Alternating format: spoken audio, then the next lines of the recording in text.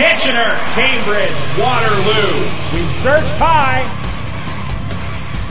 We've searched low. To find you, the Dave FM listener, the best personality to wake up with in the morning. We've narrowed it down to three. Now it's up to you. Log on to Dave FM and vote. Will it be question mark? Exclamation point? Or period? Log on to Dave FM and vote for your favorite. We'll tabulate all the votes. The personality with the most votes gets the gig. Then we'll take all the winning ballots, drop them into a box, and draw for some fabulous prizes, including the chance for you to co-host the Dave FM Morning Show. So log on, vote, and win with the Tri Cities Best Rock 1075 Dave FM.